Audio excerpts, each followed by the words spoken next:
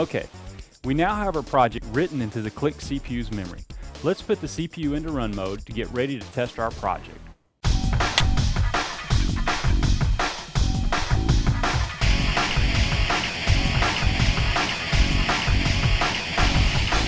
From the PLC pull-down menu on the main menu screen, select PLC modes, as shown here. Or you can click on the PLC modes icon located on the PLC toolbar. The PLC modes dialog box can also be accessed by clicking on the connection status indicator located on the toolbar as shown here. Wow, that's three different ways to access the PLC modes dialog box in the software. The PLC modes dialog box will be displayed. The opposite of the current mode will already be checked.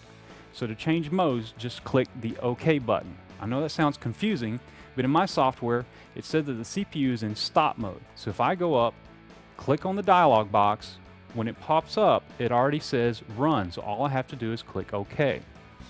To verify the CPU is in the run mode, check to see if the green LED run status indicator on the CPU is illuminated.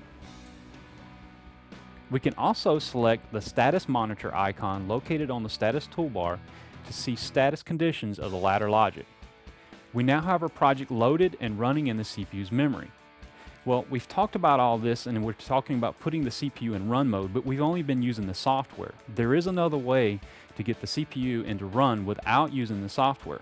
Now keep in mind, when we first started out, we established communications with the software.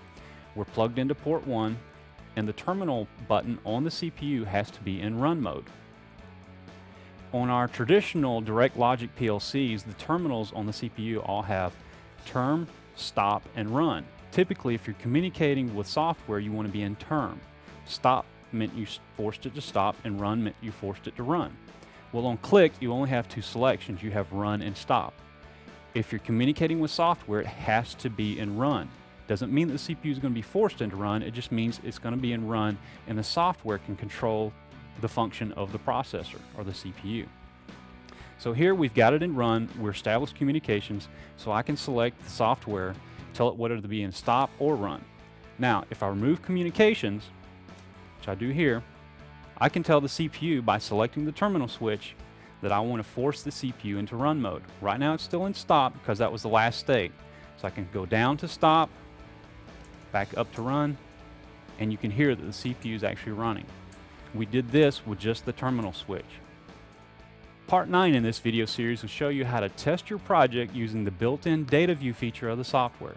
Until next time, thank you for watching.